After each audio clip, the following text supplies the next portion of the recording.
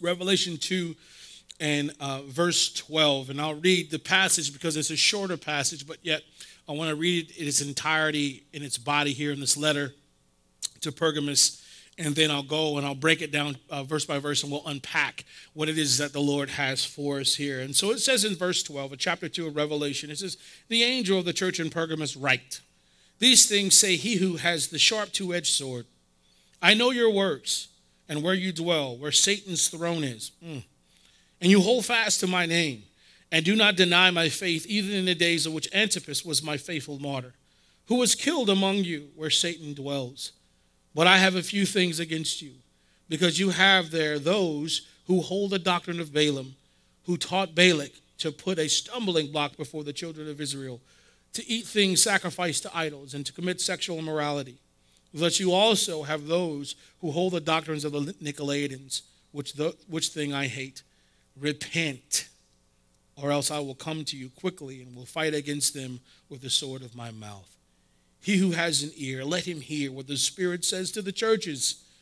To him who overcomes, I will give some of the I will give some of the hidden manna to eat, and I will give him a white stone on the stone, a new name written, which no one knows except him who receives it. Oh, my goodness. Father, we thank you for this passage. Lord, we pray that you would unlock your truth to us, that it be clear to us by your Spirit, Lord, we'll be able to apply it to our lives, and that we'll know you in a deeper way. You said, Lord, that this revelation is about you, and that in the beginning and the end of it, it's a blessing. So while we're in the middle of this, Father, bless us. Show us your truth. Let us know you in a deeper way. In Jesus' name, amen. So we're here, an apostle, John, who's the author of Revelation, has been commissioned to write seven letters to the seven churches, which are in Asia Minor, Turkey today. These are real churches in real cities that really exist and mostly of ruins, but yet some of them have been preserved remarkably. And if you went there today to Turkey, uh, a lot of the stuff has been preserved by a lot of American uh, universities that have been over there and done a lot of work because it is a Muslim country but yet these places all can be visited because, well, I've been there. And we want to remember this as we're going through. And I, I started off when I opened the book to give you uh, a way to view what it is that we're looking at, because sometimes with all the symbolism and things that are in it, can get kind of confusing. So, for clarity, we're going to keep it basic. So, the four basic views on how to interpret this letter, this, this letter that John has written, but inspired, and this is how you would apply it. One of, one of these four ways is locally. So it applies directly to the seven churches that we see that are addressed here in Asia Minor. Ecclesiastically, number two, which means that's a fancy word for saying related to the church, okay? It implies to all the churches in every age. Third, personally. You know, there is personal application in between what it is that was revealed about Jesus and what Jesus says to these churches that uh, directly apply to our lives because people make up the churches, not the buildings that they're in. So it's directly affecting us. And fourth, prophetically. You know, John hadn't seen any of this stuff happen. He's handing out these letters. And so it's good for the future of those churches that they're, they're uh, addressed to, but also for the future of the church age, which we're still in now. So, locally, ecclesiastically, personally, and prophetically are the views. So, we want to keep our mind wrapped up in that. So, as we're going through it, I may pull one of those out and say, you can look at this personally, yada, yada, yada, so that we're applying this in more than one dimension. Amen? And it says here, if you look uh, here in chapter 2, look at verse 1 through 7. It says, first we looked at the church of Ephesus if you were watching, you've seen this. This was an absolutely amazing church, and Jesus gives them a commendation that any church in this world will be proud of. If this church was here in Florence, you'd be going to it because it's great. I'll be going to it with you. it was amazing. Look at verse 2. It says, I know your works, your labor, your patience, and that you cannot bear those who are evil. And you have tested those who say they are apostles and are not, and have found them liars, and you have uh, persevered and have patience and have labored for my name's sake and have not become weary. They're hardworking, they're patient, they're discerning, they're bold, they're intolerant of falsehood. This is a powerful church here. And they did it all for noble reasons. He said, For my name's sake. But of course, in verse 4, they had a flaw because there's no perfect church, right? He says, Nevertheless, I have this against you in verse 4 that you have left your first love with all they did correctly, with everything they did with the right heart. They left their passion for Jesus. And they didn't lose it, folks. They left it. They chose, it was intentional, it was deliberate of them choosing something over God Himself. We have to be careful of that because those things tend to not happen like black and white. Those tends to blend their way into our lives.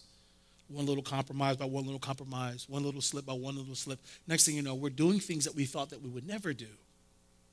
Even though they're a group of things that we do correctly, as they did. And what, what our challenge is sometimes we look over to those good things and we justify the bad. Well, I'll do all that good. Well, we see here the evaluation of Jesus. Jesus says, I'm, I'm happy about what you're doing, but this one thing is powerful here. And listen to me, and I say this too, folks. It's hard to tell somebody they're wrong when they're having success. When the church is thriving, when people seem to be getting saved, things are going on, and church is active in the community, it's hard to tell a church that they need to do something different.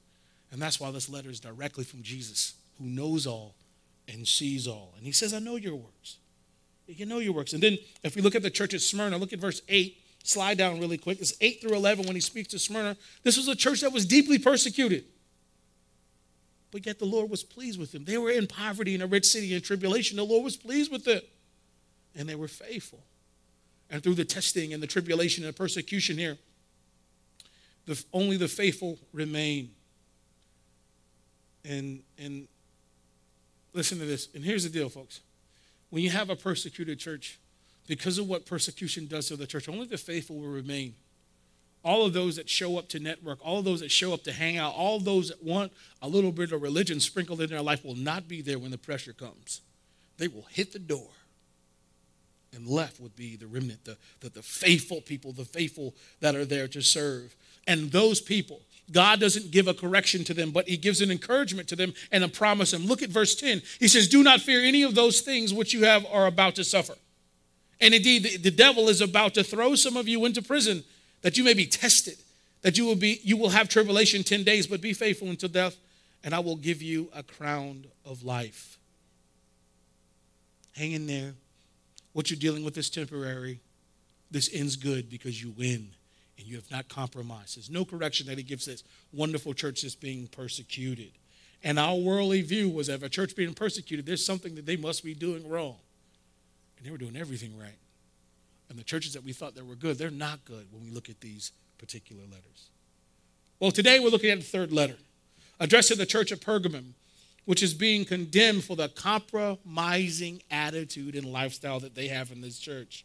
Now, they're 100 miles north of Ephesus which is continued in the postal route. So when we start at Ephesus, we go 50 miles, we go to Smyrna, we continue 50 more miles north, and we end up in Pergamum or Pergamos, depending on what um, uh, translation you have. But uh, actually, if you go to Turkey today, it's Bergamum. it's simple enough, but that's that's where it is, and it's an actually beautiful place. And it's interesting that these churches, these churches, folks, were they're not far away, but yet I gotta see y'all here. There's, it's weird. It's, it's so that they're not far away, but yet they're so different. They're, they're dealing with so many different things that, that one body that's only 50 miles away are struggling with something completely different. So it's not just the culture at large, it's what they're doing spiritually. So many things that affect what happens inside of a church. The same way that we may be challenged doing something different than the church down the street. It's amazing. But it would, would have been amazing if they really been able to communicate and help each other. But the Lord has the help here. But we want to look close today why this church compromised and why they changed their standing here. And we have to be careful as individuals as well because it's easy for us to begin and compromise because, well, it's easy, it's convenient, and we have to guard ourselves. Amen. Well, let's look at what it is that Jesus Christ has to say to this compromising church of Pergamos. He says in verse 12, he says, And the angel of the church in Pergamos write. Once again, the angel is what? It's not an angelic being. We see this over and over again, but it, it, it, can be, but that's not in the context of here. But it's a messenger. And most likely, this is a passenger, uh, a pastor, or a church leader that's here that's bringing this message from John, who has written this letter and, and copied it six more times and handed it out. That he would have been familiar with these pastors, he would have been familiar with these church leaders, and he's familiar with these churches because he was the pastor there at Ephesus, and they would have known him, and he would have known these churches as well. But Pergamos here was a beautiful beautiful country here, folks. It, It was, a, well, actually, a beautiful city, I'm sorry, the political capital of the Roman province of Asia here, and was a culture that was rich in education, was a culture that was rich in politics, rich in uh, uh, the ancient world. It had a library, folks, that had 200,000 handwritten books. An amazing, educated, and very literate place. But also, on the other end of all those wonderful things, was very religious. They had temples, Greek temples of Roman gods, of Dionysus, Athena, Athena, Zeus. And also had three temples dedicated to the worship of the Roman emperor, just full of idolatry, full of pagan worship and sexual immorality. And the city was especially known for the worship known as uh, Asclepius. I'm sorry, uh, Ascle, Es, uh, I'm sorry, Asclepios. Asclepios, I'm sorry. Asclepios. Asclepios, which Asclepios, I could not get that out. Asclepios is the is if you're in med, if you're in the medical field, you'll see it on the patch or a badge uh, on on EMS. You'll see them on the. It's a snake. It's a serpent, and this particular god was worshipped for healing, for for health. And as a matter of fact, people would travel to Pergamos to, to receive this, this, this healing. So there was a temple, and they had full of, full of snakes. So if you had COVID 19, they was like, okay, we're going to Pergamos and we're going to get our healing. So you would go into this temple that was dark and had these snakes in it, and you were to lay on the floor, and these snakes would rub against you. And it was considered to be touched by God if a snake rolled across you. Yeah like, folks, give me some Robitussin. I ain't going there. But that's what it was, though. And people were so religious and they believed in idolatry that they would do these things. They would go to these places and allow that to happen because they wanted healing. They didn't have modern uh, medicine here. He says that these things says, he who has the sharp two-edged sword. In Revelation 1 and 16, John observed this of Jesus, that out of his mouth went a sharp two-edged sword. Now, Jesus shows his sharp two edged sword about what he's about to do here to the church of Pergamos. The description of the sword in Revelation 18 helps us associate this with Jesus' mouth. Jesus will confront the church with his word, and they will feel the sharp edges. Wow. The sharp two edged sword reminds us of the passage in Hebrews 4 and 12. And it says, For the word of God is living and powerful and sharper than any two edged sword, piercing even to the division of soul and spirit and the joints and marrow and is a discerner of the thoughts and intent of the heart.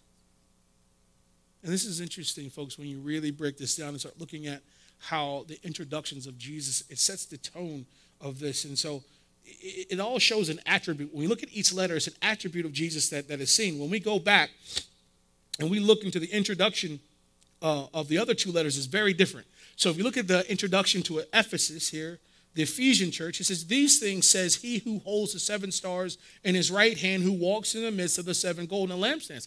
This is a picture of him being amongst his church, right? That he's keeping these seven stars, these, these pastors, protected. So he's protecting of his church. He's amongst his church. He's providing for them and he's keeping them. It's an encouraging message to speak of the attribute of Jesus. When we look at Smyrna in verse 8, when, when they're introduced, he said, These things says the first and the last who was dead and came to life. It's also an encouraging opening to their letter because it's speaking of the resurrection. But when we come here to Pergamos and we see the two edged sword, it is not a message of comfort. It is not a message of encouragement, but of judgment. In Revelation 19 and 15, it says, Now out of the mouth goes a sharp sword, sword, that with it he shall strike the nations. This sword of his tongue, his word, is a dangerous weapon. It is nothing to be played with. And Jesus would use this sword to make the separation of the Christians and the culture of Pergamum that was there. Because what was going on in this particular church, they were mixing these lifestyles. And so before he gets to the correction here, he commends them, and it's actually really marvelous because you know how that is. You get corrected, corrected, you know, you make you feel real good, and then wait for it, wait for it, it's coming. And it's here. So look at verse 13 with me. He says, I know your works, where you dwell, where Satan's throne is and you hold fast to my name and do not deny my faith, even in the days of which Antipas was my faithful martyr, who was killed among you. where Satan dwells. And so, as he said to all of these churches, he says, I, I know your works. I know exactly what you did. I know exactly why you did what you did. And he knows that for all of us, folks. And this is the reason why Jesus is the, the only judge. He knows what you did and he knows why you did it. Okay? And this place here is just full of satanic influence, right? It, it, it is absolutely full. He says, is where you dwell, where Satan's throne is. I mean, there's a stronghold of satanic influence, a stronghold of Satan's power in the culture that is here. Could you imagine being in that atmosphere trying to do church? Trying to have a church? It would like be in the middle, middle of an ISIS camp. Like trying to have church and trying to promote change and trying to promote holiness when the world is saturated with sin and paganism and evilness and wickedness. Folks, to say that, that Satan is on his throne there, and they're in the church, that's a tough place to be where Satan's influence is prominent. Now, a lot of that, you know, even like today, like we see that in the world that, that, that there's paganism and that there's there's wickedness is prominent, but we're kind of in the Bible belt where the church to a degree is still preserved here. If you go to other other uh, other uh, cities, if you go to other states, like maybe like California, New York, some of these places, the church isn't protected like it is in the South. I mean, there's a lot of cities that are still in the South. You can't buy alcohol on Sundays. There is a certain preservation that is still left for us, but in this particular place, in this particular church, none of that is is reigning at all. And and and and despite the fact that they live in a difficult city, the fact they live in a difficult, circum, difficult circumstances and they hold fast to Jesus here, it doesn't, it doesn't excuse him from the correction that he's going to give them. But Jesus praises, him, praises the Christian of Pergamos because they didn't deny the faith. They had every reason to deny the faith, and they didn't. And it's always important that we all make sure that we keep in the faith and that it belongs to Jesus and not some other faith, like the one I went off about last week. But really, at the core, what he's acknowledging He's acknowledging what they're doing well, and he's saying that they're doctrinally sound and that they're faithful. And he says in verse 13 that Antipas was my faithful martyr who was killed among you. And so there's a particular Christian um, Antipas that's in Pergamos here, and he gives a, pre- a precious title of being a faithful, um, faithful martyr. Um, the same title is given to Jesus, give to Jesus in uh, First Revelation chapter, uh, First Revelation, Revelation one chapter five. Antipas was, Antipas was a man who followed Jesus, who was like Jesus. And, and most likely, I see a lot of commentators said that there's a good chance that Antipas probably was the pastor of this particular church, but he's anonymous here, and he's a hero of the Bible. And there's not a whole lot said about him besides the fact of where he was and what he did and what God has to say about him, and they're all good things. And so he stood against the attacks of the evil around him. He fulfilled the meaning of his name, which meant against all which we see that in the Bible all the time, that their name means something that is an attribute of who they are. If you're taking notes uh, this morning, um, just kind of a side note I thought was interesting. I wrote some stuff in here about the word martyr here, because I always get words and they also run. So the ancient Greek uh, word martyrs is an interesting word. In the classical Greek, martyrs never means the martyr of the sense that we actually see it in the New Testament and what we think of being a martyr. What it meant was it was someone that agreed. Someone said that this is true, or someone said that they knew it. It wasn't until the New Testament where we get the understanding of the martyr as we understand it. So at this time, the word martyr means that he was agreeing and that he um, was a one that stood uh, for the truth here. And now we see that there is uh, uh, condemnation coming here. So there was there was some good things, some positive encouragement, and now we're going to get to what Jesus has for them. And I'll tell you this, folks, they first got this letter, and the pastor, I'm sure, is reading through it, and they're all excited. That's what Jesus said about us? He knows who Antipas was? This is great. We're feeling good about this letter until we get to this part. But I have, but, yeah, exactly. But I have a few things against you. Because you have there those who hold the doctrine of Balaam, who taught Balak to put a stumbling block before the children of Israel to eat things sacrificed to idols and to commit sexual immorality. Thus, you also have those who hold the doctrine of the Nicolaitans, which, uh, which thing I hate. Let me say this before I get to unpacking this is this. a lot of times when we come through, particularly as people, like we don't like to be corrected, right? Like, first of all, we don't like to be wrong, but when we are wrong, we don't like to be corrected. So a lot of times, that's what we shy away from in church. We shy away from those things in the Bible. It's that, well, that's identifying conviction to me. That's saying that I'm wrong. Well, the truth of the matter is, the fact that God's showing grace to let you know that you're wrong is actually a blessing and not something to push you down. And I think that's one of the things that we stay away from, and we stay away from deep, meaningful relationships because we never want any so anyone to come in our face and tell us that we're wrong about something, even if they do it in love. And we haven't learned to process that honesty. We haven't learned to do that, but it is a great benefit. But the Lord is handing this to them and you can take this as, as uh, correction as getting upset and getting mad and rejected, or you can take it and be, you know, as a constructive thing and make changes according to what it is that he's saying. And that's the whole thing about walking in the Spirit, folks, is our attitude towards what is there. Our attitude towards the Scripture. When the Scripture says I'm wrong, then that puts me in a place where I need to make a change. And sometimes we just read over it, be like, okay, that's for somebody else. That got to be for somebody. That ain't but yet true. The Lord, every time we get into the Bible study, there should be something. There's something that's there that says, eh, maybe I got to pray about that and see what's going on with that. But the maturity in the faith says that when the Lord convicts me or something in His Word that's convicting, then I need to go back and evaluate that. I need to go back and look at that so that I might grow. That's the whole purpose. And that's the purpose of God's Word being God breathed, is that we won't be ignorant of our faults that we would understand when we need to make changes. So he didn't ask us to be saved and to walk holy and never give us anything on how to do that. He said, These are my statutes, these are my ordinances, this is my ways. If you follow them, then you'll be blessed. And there's and that'll be pleasing to you. But the Christians at Pergamos were rightly praised by Jesus. He saw those wonderful things that they did right, that they were keeping uh, the faith in a difficult environment. But he says that he's got a few things against it right? Got a few things against him. He says, You have there those who hold the doctrine of Balaam. Balaam was a prototype of just corrupt teachers here. According to Numbers 22 through 24, is a lot there, so we're not going there.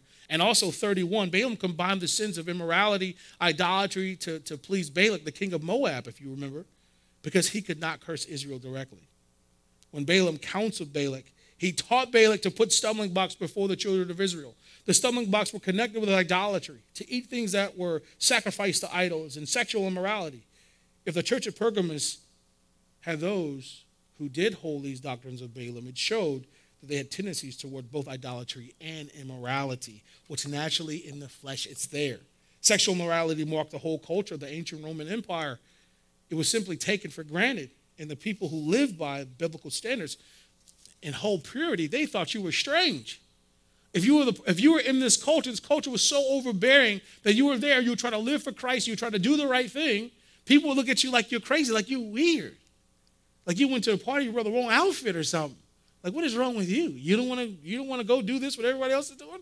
Like, no. Just like some of you on some of your jobs. You might be the only one in there. Maybe you're lonely because you have to eat lunch by yourself, but guess what? You ain't missing nothing you ain't missing nothing. In verse 15, it says, You also have those who hold the doctrine of the Nicolaitans. So, uh, Revelation 2 and 6, Jesus praised the Ephesian church for, for not holding that doctrine, to staying away from it. But the Nicolaitans also had their doctrine and their teachings here. And so, the Nicolaitans, which really means the, the, the proud authority, literally means the, to conquer people. And, and the commentators of the Nicolaitans also, they approved immorality. So it was another push in the direction of the culture to go along with these things. They went hand in hand that people can do whatever they wanted to do in the name of worship. And that's what they wanted to do naturally. They naturally wanted to, to have sexual, be sexually immoral, just like the world is now. And, and, and it, says, it says here, notice the language here. It says, You have, listen to this, this is interesting. It says, You have those this is drove me crazy. You have those there. You also have those. Did you see that? Did you see that part? It says, it says, you have those there. You also have those. See, the rebuke wasn't just to those that were worshiping Balaam and kept the doctrine, or the Nicolaitans that kept that doctrine. It was also for those who were there who did not rebuke them for doing it. Because what happened? So th- those people in the church, and it says that they're holding the doctrines of Balaam, right? That means they were holding it. That means that this was not a secret. It was not private. They were out in the open and they were performing and doing these things of worship. So it wasn't hidden. It wasn't like they went to church on Sunday and then they went back home and had a little shrine and started doing their thing. It was open. They were known. They were holding this. They were continuing this. And even the people that knew that it was wrong saw them doing it and didn't say anything to them about it. And what Jesus is saying is you are just as guilty as them by letting them just do it. Letting it just go on. Anybody remember what church that was like? Anybody? What church was doing that? It was the beginning of my pastorate when I taught it, but it was, it was the Corinthian church. Corinthian church had the same issue. They just were tolerant of, of, of, of paganism. They were tolerant and accepting of things that just weren't holy. And, and, and, it's funny how you see the pattern of Satan. He'll try to push his way in. If he can't, then he'll try to sneak his way in. He'll try to make an alliance and make some type of compromise. And listen, listen, folks, and here's the deal just because you're in a certain environment, it does not justify compromises, okay? It is not okay for the church at Pergamum to do what it is that they're doing and allow them to happen just because of what it is. It's not an excuse because God gives us everything that pertains to the life and godliness. That's what He says. So everything we need to accomplish His will, He's given us to us. We don't have an excuse if we go to a job in an environment that's not godly. You are to be a light in darkness. How you going to be a light that ain't no darkness? You might have an influential boss. There may be people in there that, that man, they, they, they're a mess and creates this environment that's rough to be the church in. But you're there for a purpose. Man. A lot of times we want to gird up our loins and, and, and, and just take off. We don't want to do anything. But yet, God has placed us there for a purpose. And we're to be faithful to that so that He may be, you know, glorified even in the midst of all of that. But the question that arises, and I was in my study, I was thinking about this because I was really thinking to myself, like, how, how does the church get to this point? How does the church get to this place where, where, where they're like this? And, and, and how do we protect ourselves as, as individuals, as believers, from getting to this place? Because nobody wants to be that, right? No one wants to be the person that's got all this stuff going on or they see all this stuff going on and they don't have the courage to do this. The first thing that they did, I'll tell you this right away, is they got away from God's original plan. And, that, and that's where we all go wrong. Whether it's a church, whether it's a person or whatever. And since we are experts now in Leviticus, let's turn there real quick to chapter 18. Because we spent a good amount of time in Leviticus when I originally said there's going to be six weeks, and it was like 16 weeks, or however long it was. but Leviticus 18 in verse 1 I'll give you a, ch- a, chance to go ahead. So go ahead to Leviticus 18 and verse 1. And so, and, and so this is why one of the things that's really important about understanding and teaching the Old Testament. There's a lot of places they don't want to mess with it anymore. They think the Old Testament is obsolete and it's not good, but it's absolutely crazy. It helps us understand the new. And, and it solidifies it and it makes it believable. Because if we look at Leviticus, we can see that the original instruction that God gave his people right? And this is this is awesome. Leviticus 18 and 1, it says this. It says, Then the Lord spoke to Moses, saying, Speak to the children of Israel and say to them, I am the Lord your God, according to the doings of I'm sorry, according to the doings of the land of Egypt, where you dwelt. You shall not do, he says. And according to the doings of the land of Canaan, where I'm bringing you, you shall not do, nor shall you walk in their ordinances. You shall observe my judgments and keep my ordinances to walk in them. I am the Lord your God. You shall therefore keep my statutes and my judgments, which if a man does, he shall live by them. I am the Lord. What was the point of Leviticus? The point of Leviticus as a whole was the guidelines to proper worship, how worship was to be conducted, and how the priest were to handle that in the law of Moses. What was the, uh, the point of the law of Moses? To clarify the institution of holiness, right? And so we look at the law, we look at proper worship that's in Leviticus, and it separates the people from pagan cultures. It changes their appearance, what they do, how they do it, how they live, how God is honored, how God is worshiped. It's completely different than the cultures that are around them. These institutions separated the people from where they were living and what was going on. That God might be glorified. Because the heart wants to be polytheistic. But God has called us to be monotheistic, to only have one God and not many gods. Right? And we saw that even when the children of Israel on Mount Sinai, that, that, that Moses goes up and they, they get Aaron, they suck Aaron in, he makes them a golden calf. That's Exodus 32. He, he makes it go because they wanted to do that. They knew that they were right there after everything that God has showed them and proved it to them. They just wanted one more God. And this wickedness is in the house. That's in the heart there. And if you guide down, look, stay there, Leviticus 18, slide down a little bit. I'm not going to go over every verse, it's way too much. But it all makes sense. If you look 6 through 20 there, um, the word nakedness is repeated over and over again the nakedness, the nakedness, the nakedness, the nakedness. And it just simply just describes the sinfulness and the idolatry and the immorality and the paganism that was in the culture at that time. But if you look down to verse 24, this is what he says about all of that. He says, Do not defile yourselves with any of these things, for by all these the nations are defiled, which I am casting out before you. For the land is defiled. Therefore, I visit the punishment of the iniquity upon it, and the land vomits out its inhabitants. Hold on to that. Slide over to Leviticus 19. Look at this. Because I'm, I'm going to close this thought here. Turn to Leviticus 19, verse 1. It says, And the Lord spoke to Moses, saying, Speak to the congregation of the children of Israel and say to them, You shall be holy, for, the, for I, the Lord your God, am holy. Every one of you shall re- revere his mother and his father, keep my Sabbaths. I am the Lord your God. Do not, listen to this, do not turn to idols, nor make for yourselves molten gods. I am the Lord your God. See, what's being said here is because I'm giving you these instructions because I'm your God. I'm your God that brought you out of the land of Egypt. What is he saying? I'm the God that brought you out of paganism. I, I, brought you out of polytheism. I brought you out of it. I brought you out of these sinful things, immorality. I brought you out of slavery. I brought you out of those things. And because I'm God and I brought you out of those things, live the way in which I've instructed you to live. Because it's better for you.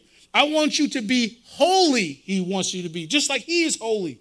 Keep yourself separate. I don't want you, I don't want to bring you out of that just for you to go back in it. See that? I brought you out that you might be holy, that you might represent me and do my will. That's the best thing for you. And guess what? That's the Old Testament, right? Well, the New Testament doesn't change that at all. It doesn't. In James 4 4, I'll read through this quick. James 4 4 said this is adulterers and adulteresses. Do you not know that the friendship with the world is enmity with God? Whoever therefore wants to be a friend of the world makes himself what? An enemy of God. It doesn't work out. No room for compromise there. 1 John 2 and 15. Do not love the world or the things in the world. If anyone loves the world, the love of the Father is not where? In him. You can't do both. The Pergamon church wasn't saying anything to those that were doing this compromise. And as a matter of fact, folks, what happens is this. When you come into church, people in open sin inside of the church, they're doing that over and over again. And the people sitting across them whisper and say something, but they never help the people, right? They never help those people come to the truth, right? So what are they doing? The people are going, hama, hama, hama, hama, and see the people that are doing wrong. What they do, they don't ever tell them, right? It affirms what they're doing. It affirms what they're doing. When no one comes and there's no correction and everybody is going along, you're telling them this is all right, you keep on doing it, keep on pressing in on what you're doing. It's fine. We have nothing to say about it. But don't have the courage to speak up and to love them to the truth privately, the Bible says. And then if they ignore, then you get some witnesses. And we continue till we get in front of the church and church leadership. But the love says, hey, look, now, um, you eating sacrifices, you can't be doing that. Or whatever it is. Or you can't be doing that or whatever. And I say that I love. That's for me and you. We're going to pray about it. And if the person accepts it, great, you move forward. But the affirmation is this is going on and nobody's saying anything. And God is saying, Old Testament and New, I want you to be a separate people. When you worship this way, when you live this way, you're separate from the world. And they can identify that you are not like what it is that they see and that they will desire that. Galatians 6 and 14. But God forbid that I should boast except in the cross of the Lord Jesus Christ, by whom the world has been crucified to me, and I to the world. It's one way or the other. Jesus makes that clear here over and over again. What's happening in the church at Pergamum is, is compromise. Compromise leads to corruption. Compromise gets easier and easier. And you do it again and again. And the point is, they're slowly getting away, further and further away from where they started because of the compromise. And you know what that leads to? The church at Ephesus. You compromise, compromise, and you all together will leave your first love. You will leave it. Small compromise, small compromise. You'll leave and you'll look back and be like, oh, I completely left my first love. When a church body begins to compromise and to accommodate people for whatever reason, because churches do now, because their focus isn't on pleasing God, it's on church growth. So nobody says anything. You know, it's accommodating. Um, when they don't want to offend because they don't want to be that church that's judgmental. Like, we don't want to be that judgmental church. The truth is, they already think you're judgmental. You ain't hiding and protecting nothing by saying that you're not being judgmental. They, they're, they're feeling judgment from you, even if you don't say anything, if you just walk a Christian life. They feel judgment by that. When they do something, you're like, okay, I'm not doing that. They feel judgment, even though you're not saying, hey, you're wrong. They already feel that. Churches aren't protecting anything, they're just compromising to fill, people, fill up the seats.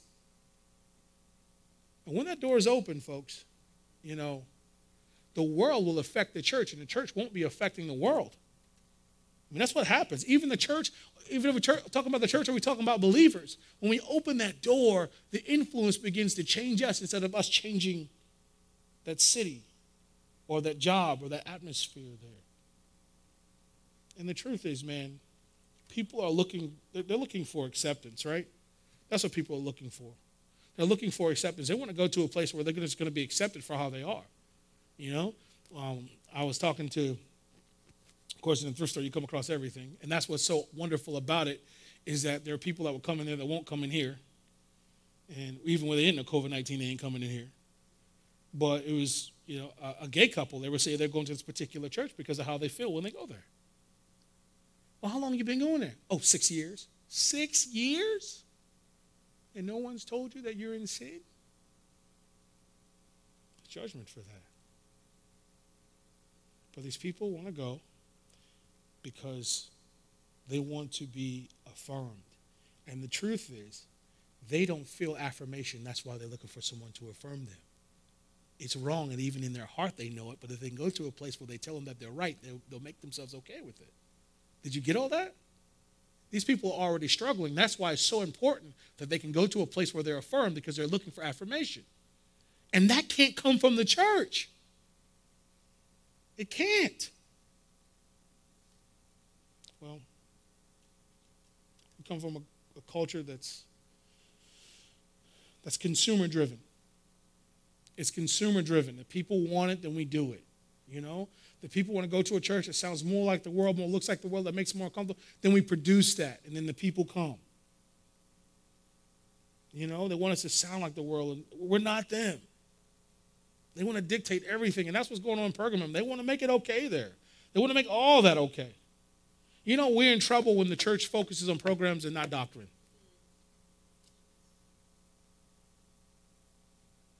When the church gets to a place where it will never, never, never confront evil. I ain't saying that you got to come to church and every little thing you think is wrong, you got to jump out and holler and scream and jump all over like you're crazy. But if something seems to be a pattern, someone I gotta love them enough and be like, hey, dog, hey, I love you, right? You know, you don't care. Let's do this a little bit different. Right? Priscilla and Aquila take Apollos to the side. He had a doctrinal issue. That's huge. They took him to the side. He received the change and the church exploded. Because this is part of the reason why we're the body, because, because when the Spirit operates in us, we're correcting and we're growing as a body that we're not perfect, but when people come in, they see a perfection at work.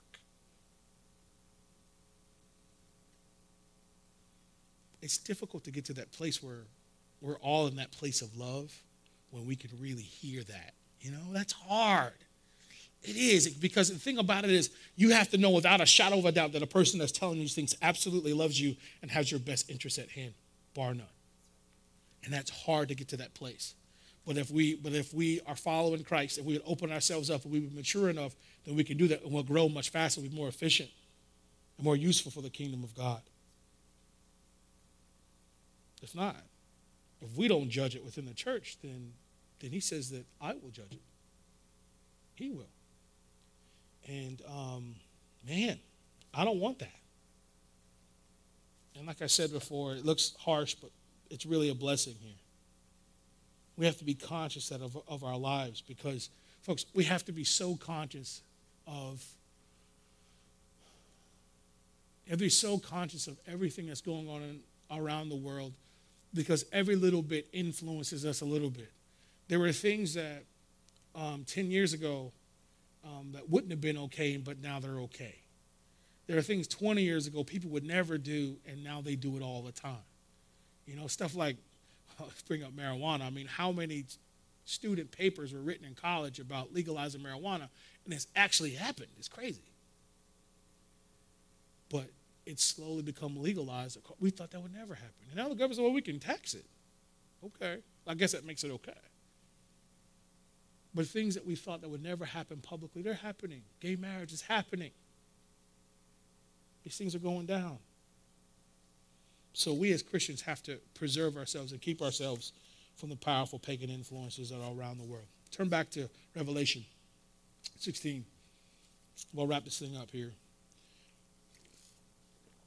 And God is saying to him, Look, correct yourselves. Fix these things, or I will fix them. And he says to them, He says, verse 16, He says, Repent, or else I will come to you quickly and will fight against them with the sword of my mouth. You know, he tells them to repent. So we see that, which means to turn away, you know, turn away, change the direction. And it's interesting that, that five of the seven churches are required here to repent. So you got to change what it is that you're doing. You got to change it. And, and I keep pointing to the fact that this is a blessing because what if the Lord just judged it, didn't warn them? It is God's grace that said work. He's like, look, I don't want to judge you. I'm holy, right? And you're not meeting this standard. So if we don't change, this is what's going to happen. A lot of these churches, this is actually what happened because they don't exist. It just ruins. But yet the warning is there. And God's faithful. Before God judges, everything that could have been done to get your attention to fix that has been done. Everyone that's ever fell in their lives from any part of the Christian walk can tell you that there's a million opportunities that they had to change whatever it is before it fell. Because he's that faithful. It was no sneaking up. It wasn't no surprise. It was like, okay, I knew it someday this was going to happen. And that's how it is. He says, or else I will come to you quickly and will fight against them with the sword of my mouth. Unless you do repent, the Christians of Pergamos would face Jesus with a two edged sword. And like he said in 1 Peter 4 and 17, for the time has come for judgment to begin in the house of God, and it begins with us first. This has to be a place of correction. This can't be a place of accommodation. It is a place of correction of help, right? Not like the Department of Corrections. You look at the Department of Corrections, like prison, where no one's really rehabilitated, right? They're not, but they're institutionalized. And I believe that's what religious cults are doing right now. That people aren't going in and being changed and rehabilitated and made whole and being changed. They're made into religious institutionalized people that have control movement, that go to certain places at certain times, that do certain things at certain places, but, but the love of God is not there. But yet they do certain things and they justify their lives that way. That's what's going on. But the church, when we agree with God, it is a place that cultivates godliness and encourages it and affirms it. Right? And that's why, I, that's why, like, if you go to a place that really teaches the Bible and people really love, you should be breaking your necks to get in there if you're really walking all week because you might be in environments that are so bad, you just want to be in an environment where you affirm the way you live. But I think that we probably live, a lot of people probably live compromised. That's why it's okay for us to go to church half of the time in the month. I'm starving to get here. Because all week long I've dealt with a bunch of junk that looks nothing like me. I can come in here and I can be myself. I can say hallelujah. I can open my Bible and it's all good. You should be starving to be able to be in that atmosphere and everything's all good.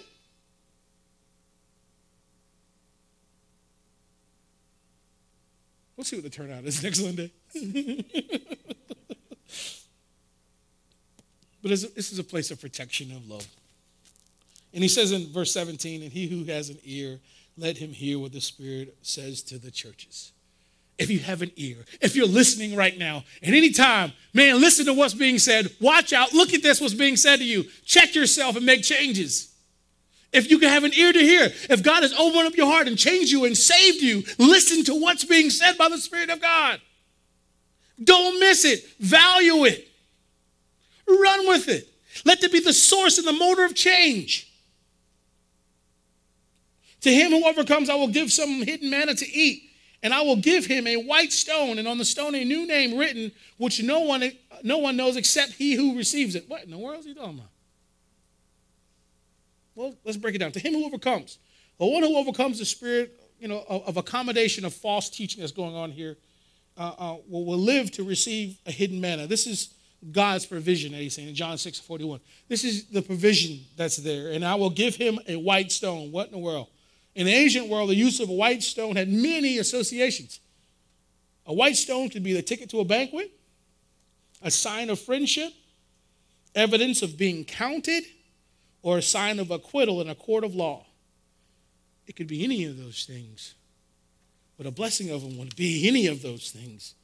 And the stone, a new name written, which no one except him who receives it what is the meaning of this new secret name that nobody knows is promised to us? It is God's name, or is it believer's name? Which one is it?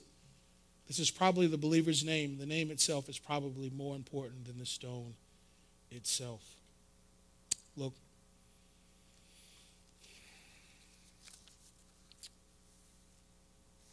The temptation, we can look at this letter to this church at Pergamos and say, man, how did they allow themselves to get so far away?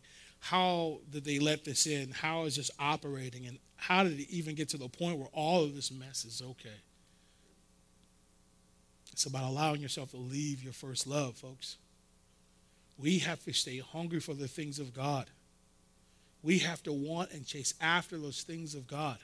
It concerns me deeply when we make it okay not to come to church or we make it okay not to read our Bibles. We make it okay not to pray, not to pray at all. Like when we make those things okay, we leave the door open and so they're shutting it behind us for compromises to come in.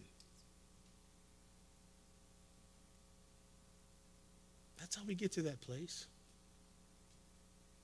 When the Lord saved you and He worked in you. And listen, listen some of us are so, we're so gone when we say we can't remember when we got saved. We just know we saved. I know I was saved in August sometime. I don't know. I, I, was, I was so happy the Lord freed me from sin. I, I, I didn't care what day it was. But now that you're in it, now you have an ear to hear. Stay consistent with the faith. Stay in the faith. And then the Lord will move. The Lord will bless. And you'll be safe. And you'll be free and protected from compromise. And let me tell you something once again about compromise, folks. It's very, very easy. It's slow, and it slides in. And the next thing you know, you're not living anything like you were a year ago. I pray for you. I pray for the church that through the correction that was sent to Pergamos, we won't experience it. Amen.